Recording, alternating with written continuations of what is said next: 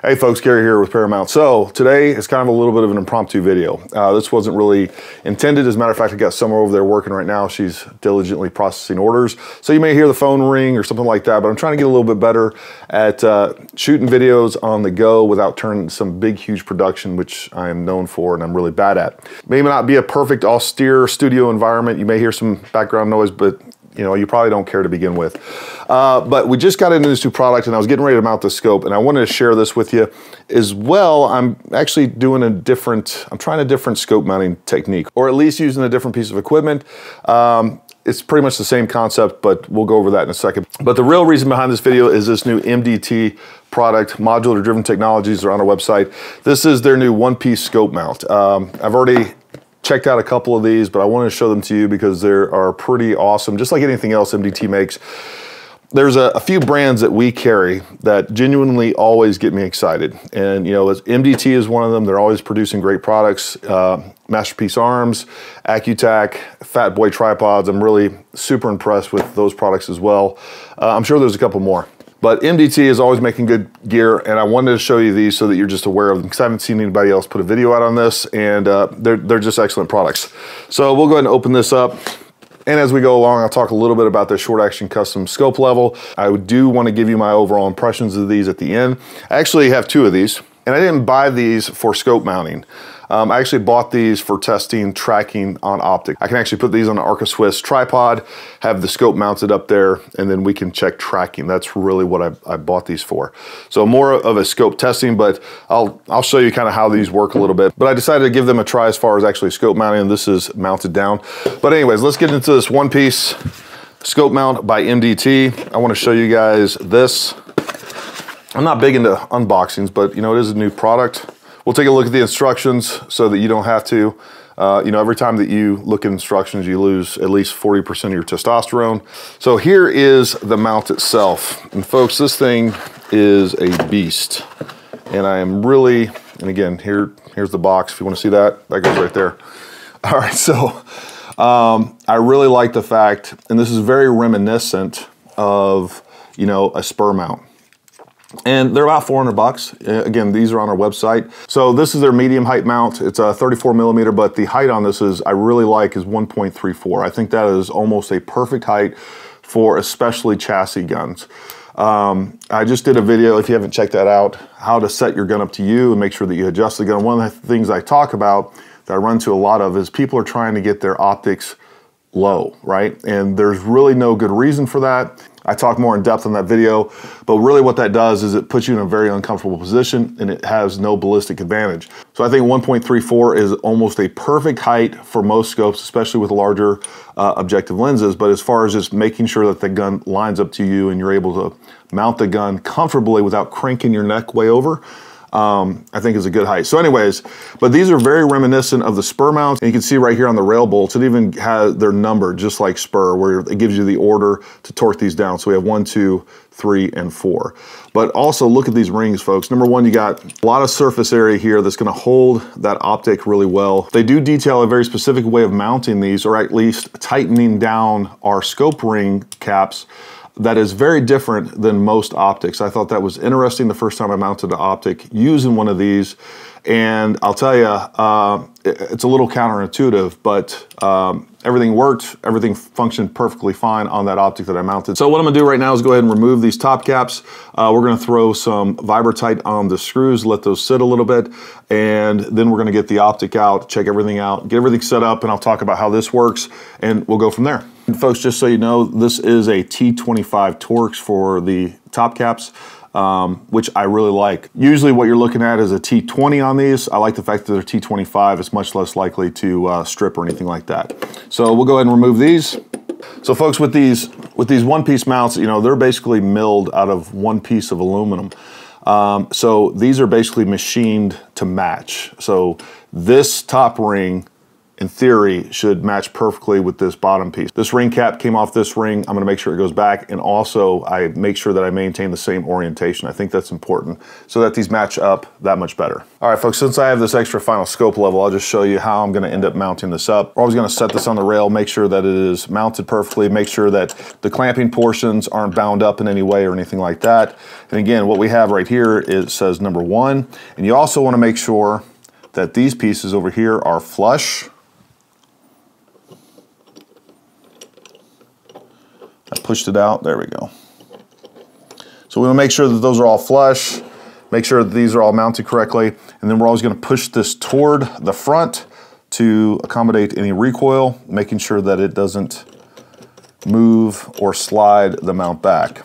And again, I'm gonna transfer this whole thing over to here, but I just wanna show you from this perspective uh, because you're not gonna be able to see this side once I mount it onto the piece. So I'm just showing you how I'm doing it. I'm keeping tension pushed forward, which would be the orientation of the muzzle. But this is how it's gonna look. And again, we're going to end up tightening this in order. We have one, two, three, and four. And let's talk about some torque specs right here at the beginning. So it does say in the instructions to make sure that we tighten the cross bolts in order one, two, three, and four to 65 inch pounds. So the cross bolts are 65 inch pounds. We have four of those. That optic isn't going anywhere. So what's interesting on this, and I thought was, again, almost counterintuitive, was the fact that if we look on the diagram that tells us how we're going to tighten the top caps, we have one, two, three. So you're tightening down one side to 15 inch pounds before we start moving to the other side. Uh, and that's very different than most. It says there should be no gap. You know, that is definitely a much different approach than we normally take when tightening down most mounts or ring caps. So, um, yeah, anyways, we'll work through that. All right, so while I'm making sure that I maintain the orientation as well as keeping track of the front and the back cap, now we're just adding a little bit of Vibratite to the fasteners. All right, so the first thing I did was make sure the short action custom final scope level was leveled front to back. And if you guys notice, we have these wheels in the bottom here, and this is what's going to change our horizontal angle, right? All right, so now that we got that level front to back, what we're gonna do is make sure that we have it level from side to side using these two wheels right here. All right, so it's not perfectly straight on, but you guys can kind of see what's going on. But again, all I'm doing is working these two wheels until I have it nice and tight and the fact that it is perfectly level.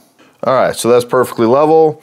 And again, I've talked about this in the past, but you know, to check your level, folks, to make sure that it's good, what we can do is we can turn that 180 degrees and make sure that we are getting the same reading. That lets you know that your level is good. And I've tested this level against much more expensive levels that I know that are good as well. So again, we're getting the same reading both ways. So we know that this thing is nice and level. Now let's open up our beautiful Night Force Attacker 5 to 25. Hey folks, sorry to interrupt, but this is Gary from the future because I forgot to say this earlier, but if you like content like this, make sure you like, subscribe, throw a comment down below, hit that bell notification so that you're notified when we make new content and release new content like this. The other thing I will tell you folks, if you're watching this on YouTube and you support and defend the Constitution, the First Amendment, the Second Amendment, if all that's important to you, I would ask you to stop watching YouTube. We're slowly moving all of our stuff over to Rumble. We're gonna continue to put stuff on YouTube because that's how we're gonna get people the message on YouTube and get people from YouTube over to Rumble. It's the only way that we can do it. But YouTube is an enemy of the Second Amendment. They're an enemy of the First Amendment, and they don't deserve reviews. So I would, you know, ask you if if the Second Amendment is important to you, make sure that you are staying on platforms that actually support and defend our freedom to express ourselves, our freedom to exercise constitutional rights, like when it comes to you know 2A content like this. Also, if you haven't already, make sure you go follow us on our other social media sites. We do a lot of cool things on there. And every Wednesday at 7 p.m. Eastern Time, we have our live Dangerous Liberty podcast. We talk about guns, gear, training, politics. We have special guests on all the time. Uh, and you get to interact with us live. You get to ask questions live with the guests, with us, whatever we got going on. You get to throw your comments down there, get to interact. It's a lot of fun. So make sure you join us on Wednesday. But we really appreciate you watching this channel and your support. And I'll let you get back to the rest of the video. All right, folks, I don't know if you've ever seen inside one of these Nightforce boxes. You know, this is where your optic goes right here, obviously. Then you have this little section over here. And what is in here is two, well, three things that I think are important. Number one, your sunshade. If you bought a Nightforce that comes with a sunshade, not all of them do, but the ATACRs do. The other thing that comes in that little spot right there are these two little envelopes. And as it says on there, do not discard, pretty important. Um, I'll show you what those two things are in just a second. And of course in here we have like a little lens cloth. And actually one of the most useful things I wish all optics came with is like a little multi-tool. This right here actually fits all the fasteners on the optic and it's actually very handy. I actually keep an extra one from one of mine in my fix-it stick toolkit because I use that out on the range for myself and others all the time. So, but we'll, this is for the client. We'll leave that in there, but I am gonna install this piece, this piece right here, which is the throw lever for the magnification. We'll install that for them. And I'll show you what's in this other envelope as well.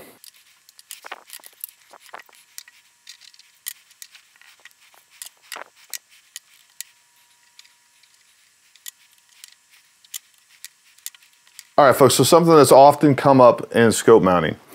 Now, this is something I check every single time. And I often hear when, when we're talking about scope mounting, Gary, you need to level it off the bottom. You don't need to level it off the top because the turrets aren't flat.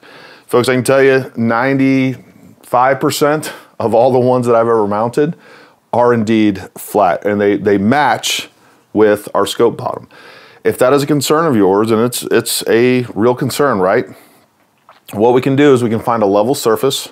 We can put the flat portion of the turret housing on that, and then we can check the caps.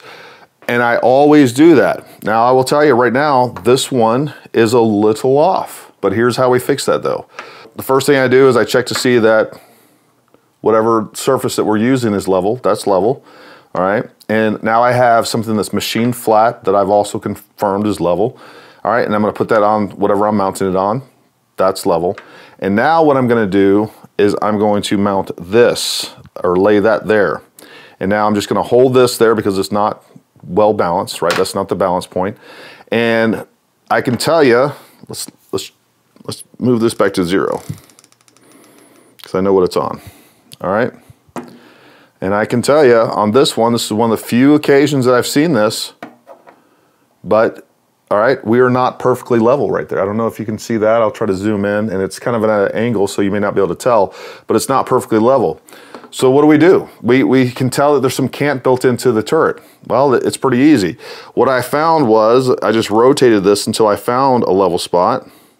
It happened to be at 3.2 and then I checked to see, confirm that. So now I know that this if I use at that setting, basically what we have is we have a parallel plane between the bottom and the top of the turret. So I'm essentially leveling off the bottom of the turret. That's something I check every time. I'll, i can tell you, especially the high-end scopes, I'll tell you 90% of the time, folks, the top and the bottom right off the bat match. I can turn it, doesn't change anything. But it is something that you need to check, something I always check every time I mount a scope because you know run out does happen you know imperfections will make their way into even the best products period so it's just something to be aware of but that's how you fix that if you do run into that problem all right so we now have a parallel surface with uh, the bottom of our turret housing we're good to go there so let's talk about this real quick I'll just go ahead and mount these up um, I don't like to just rip these open a, a clients we'll get some scissors and cut that open so it looks nice and neat all right, so I just put a slit in there, keep it neat for the client. And out pops our throw lever.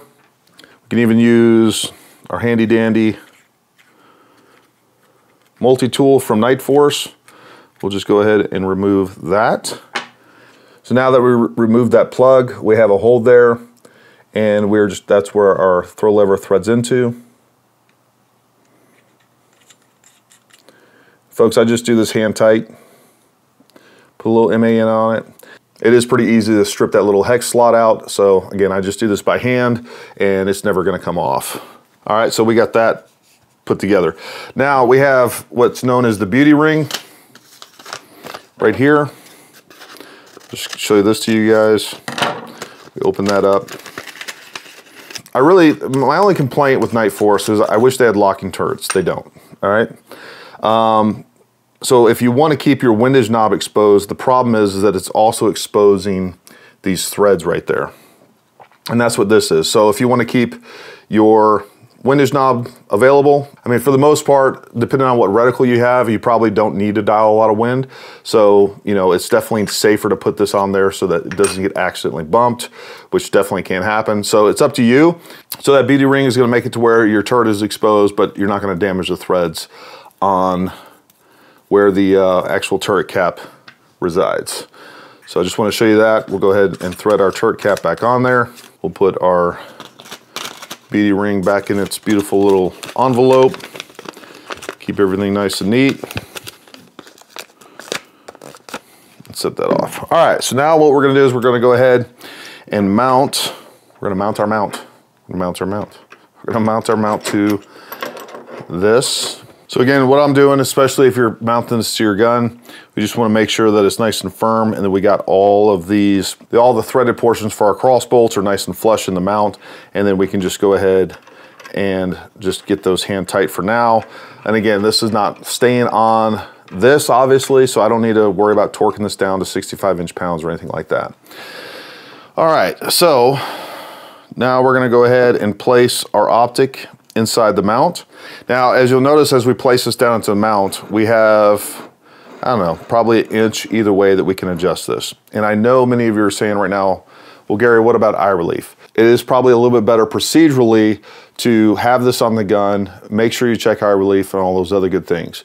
With that being said, you also have plenty of, uh, quite a bit of adjustment within the pick rail itself. So once we get this mounted, if when I send this to the client, because I don't have his gun right now, or I would take a little bit more time to get it pretty darn close, at least for me, which obviously could be different for the client. But again, most of the most of the guns that we have today, we can adjust that length of pull, which will also allow us to adjust our eye relief. But then within the pick rail itself, we can obviously move that forward or back incrementally to the point that we're gonna find 99% of the time, you're gonna find a spot that's gonna work for you as far as eye relief, just mounting it like this. Making sure that the optic is plumb inside the mount, and then being able to take this mount and put it on another gun. But folks, regardless of what methodology you ascribe to, you believe in, whether it's the flashlight method, plumb bob, this, whatever else, or even me mounting it and giving it to the client, folks, you need to make sure that you do a tall target test. That's the only way that you can verify all the variables that we're dealing with. Regardless of how perfect your methodology is, there's always human error that's available to us. And then of course, internally, we need to make sure that it's tracking correctly, perfectly vertical, and or to make sure that the reticle is mounted and plumb within the optic itself. So the only way to make sure that all of those are correct is to shoot a tall target test. It's the only way that you're gonna verify. So regardless of what method you're using, make sure that you do some testing, make sure you shoot a tall target. That is what's gonna let you know if your scope's mounted correctly, it's built correctly, and it's functioning correctly. And that's what we're looking to do, all right? So this should be good. Again, if the client gets it, he'll be able to you know, kind of hand tighten it up on the pick rail, check his eye relief if he needs to move it forward or back. It's usually, again, we're only moving not even a quarter of an inch forward or back on these pick rails. So there should be plenty of room for error and or adjustment, right? All right, so these have been sitting over here for a couple minutes. Our uh, Vibratite is a little bit cured. We're gonna make sure that we put them back onto the optic in the same orientation and in the same order. So this is the front, this is the back. So that's good. Now we're gonna make sure that the scope itself is sitting plumb and square. So that looks perfectly square to me. All right, so now let's follow our directions. I'm losing testosterone so you don't have to. So, according to this, we're going to tighten the screws that are closest to me first. And again, this is a little, a little counterintuitive to me, but we will do as the instructions say. So I'm tightening these down.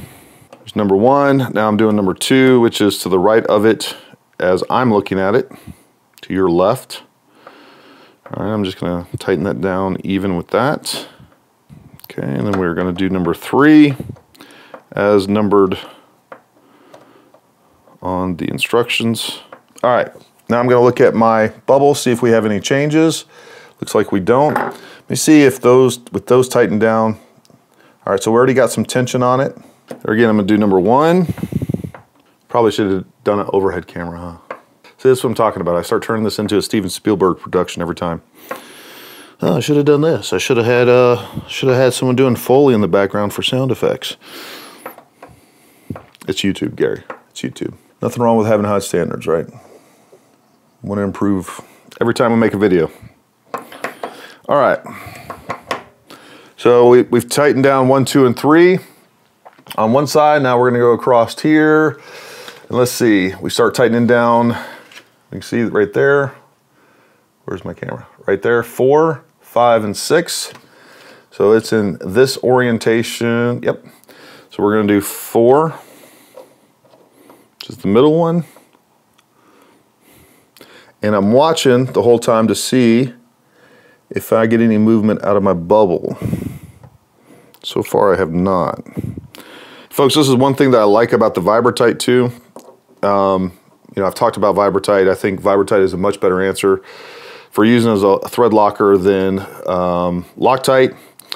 One of the things that people talk about when they're making a argument for not using any sort of thread locker, uh, and even scope manufacturers and or ring manufacturers, I've seen actually have this in their instructions or talk about this, and that is, you know, Loctite, for instance, it has a it's kind of a high viscosity, right? It has it has lubrication properties.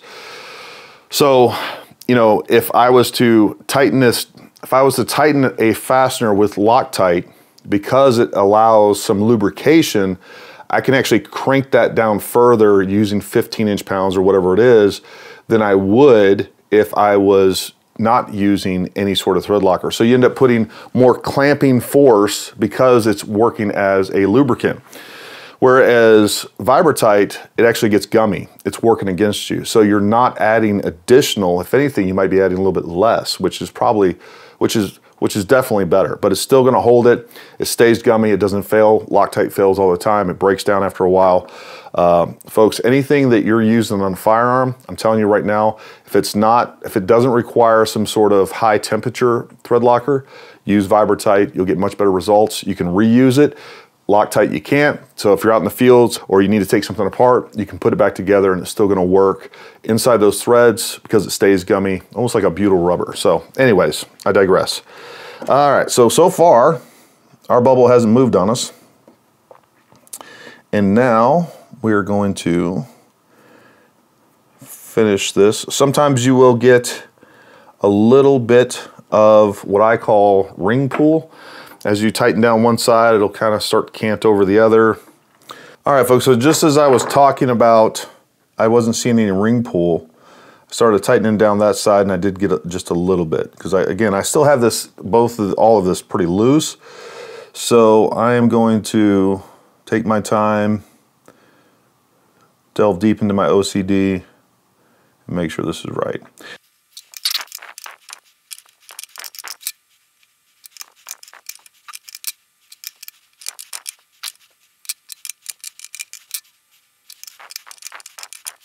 All right, so I probably fast forward that or just cut to this to save you the boring procedure, but I just probably spent about 10, 15 minutes, you know, making sure that was perfectly right because we were getting some ring pull. When I tightened down that far side, it was pulling it a little that way. So I had to sit there and play with it until I got in the perfect offset so that when I tightened it down, it moved directly to center.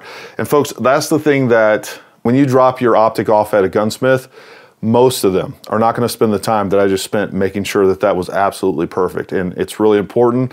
Uh, so either again, have someone like me mount it that you know, that you can trust that's going to do it right, or make sure that you do it yourself. That's why I share this openly with people. I show you how I mount an optic, regardless of what you end up with. Again, folks, you got to shoot that tall target test to make sure that it is mounted perfectly, it is working perfectly, and it is built perfectly. That's what we need for an optic to work the way that we expect it to work and to move the bullets and the impacts the way that we expect it to.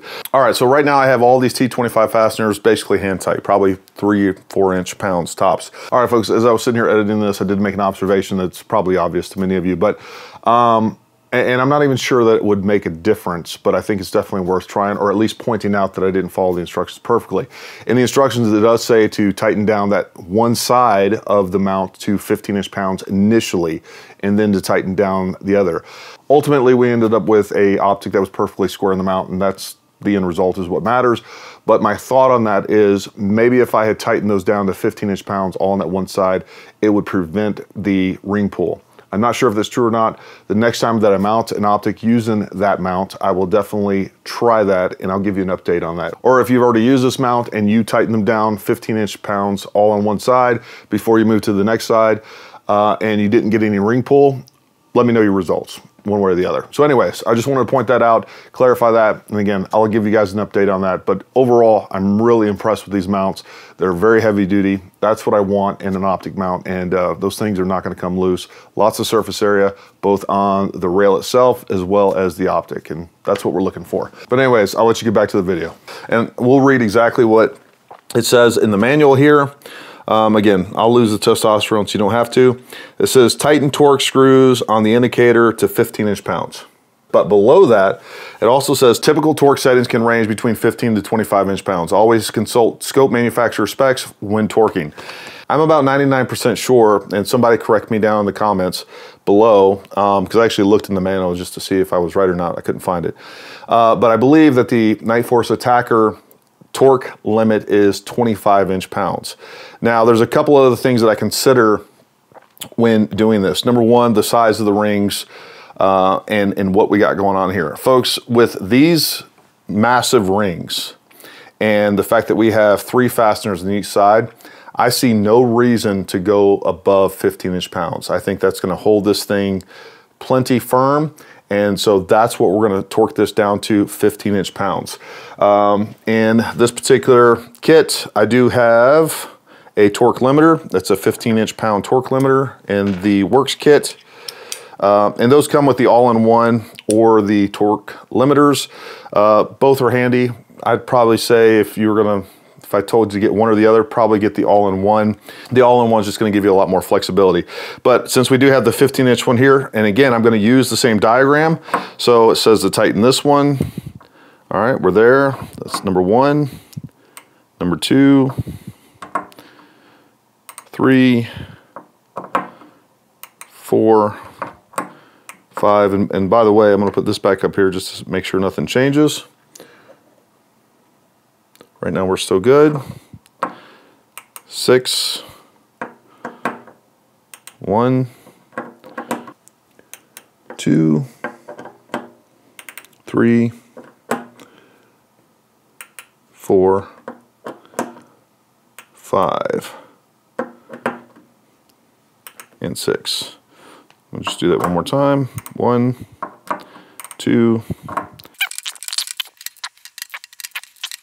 All right, we are still perfectly level. Everything is good to go.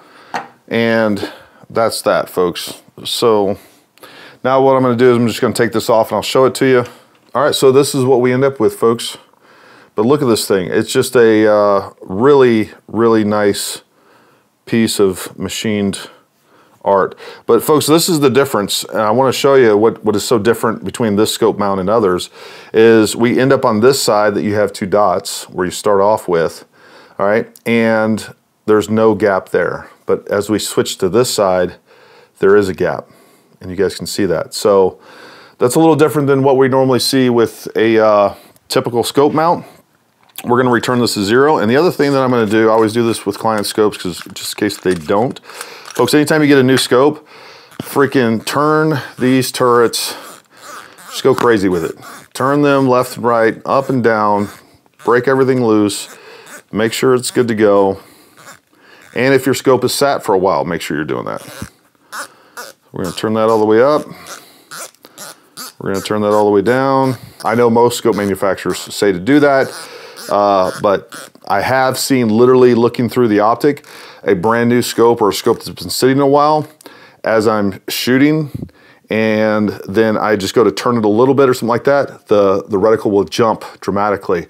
And what that is, is those springs in there that are holding that erector tube kind of get seized up or something's going on in there and suddenly it will. So anyways, the point is make sure that you loosen these up, you turn them so you don't have that problem.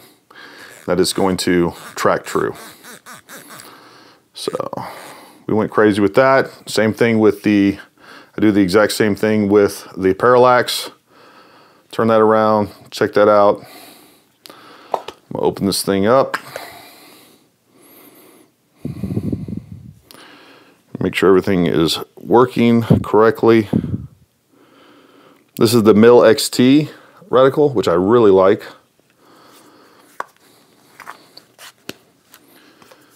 I think I'll get the Mil XT probably in one of my next. And let me just see if the, uh, yep. All right, so we already got a battery installed.